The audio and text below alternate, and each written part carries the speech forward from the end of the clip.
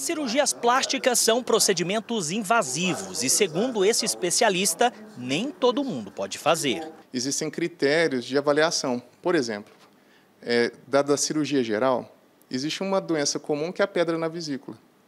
Faz essa cirurgia porque tem um problema na vesícula e vai fazer a cirurgia. A cirurgia plástica também existe um certo problema na pessoa, por exemplo, um lipoacúmulo, uma alteração do excesso de pele que tem no abdômen, por exemplo, existem as indicações. Mas, se o paciente está com um peso muito acima do peso, uma certa obesidade de determinado grau, a gente pede para emagrecer porque diminuem os riscos da cirurgia. Só este mês, duas mulheres morreram em Goiânia por complicações após cirurgia plástica. Uma delas é a ex-miss pecuária de Iporá, Brenda Stephanie, de 31 anos. As causas da morte ainda são investigadas. Ela tinha 31 anos e deixou quatro filhos pequenos. Dois deles gêmeos, de apenas quatro meses. No início do mês, a empresária Fábia Portilho, de 52 anos, também não resistiu às complicações de uma cirurgia plástica. A família registrou um boletim de ocorrências e o caso também é investigado. Nós estamos vivos e a dificuldade toda nós não temos a solução para todos os problemas do ser humano, né? Então, o que, que tem que ser feito, né? Passar por um profissional que fez o estudo, é um cirurgião plástico de, de carreira, fez seis anos de faculdade de medicina, depois ele faz especialização em cirurgia geral, faz cirurgia plástica e, por vezes, faz uma pós-graduação em, em determinadas áreas. Então, evitar complicações não tem jeito, é, é impossível, humanamente falando. O que, que a gente faz? A gente diminuir os riscos de acontecer Diminui os riscos como?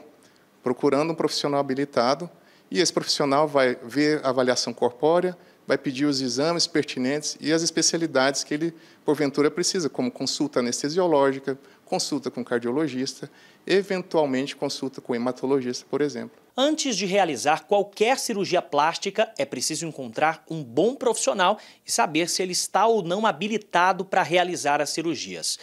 Muita gente procura nas redes sociais. Esse não é o jeito certo. A maneira correta de procurar um profissional é acessando o site da Sociedade Brasileira de Cirurgia Plástica. Aqui você tem acesso aos profissionais habilitados e também ao currículo de cada um. Jamais escolha o seu profissional por valores. Infelizmente, a gente sabe que escolhe os profissionais pelo preço ou muitas vezes simplesmente porque viu que ele é bombado no Instagram. Isso não é qualificação profissional. Qualificação profissional ela demora tempo, especializações, cursos, atualizações, congressos e tudo isso demora um, tempo. A gente sabe então que toda cirurgia, todo cirurgião demanda experiência, demanda tempo para que ele tenha uma análise adequada e possa realmente conversar com vocês sobre aquilo que é mais adequado ou não quando você for fazer o seu procedimento. A escolha do profissional correto pode salvar a vida do paciente em caso de complicações durante ou depois da cirurgia. As pessoas esqueceram de valorizar as instituições é, raízes, as instituições tradicionais. E a internet veio mostrando coisas assim, todo mundo sabe tudo, e não é bem assim. Eu acho que existe a necessidade de um resgate das instituições tradicionais, que são o site da Sociedade Brasileira de Cirurgia Plástica, o site do Conselho Regional de Medicina. Porque na Sociedade Brasileira de Cirurgia Plástica tem os cirurgiões plásticos mesmo, aqueles que fizeram o treinamento. E no, no, no, no site da, da, do CRM, você vai ver se o médico tem o RQE, que é o título de especialista.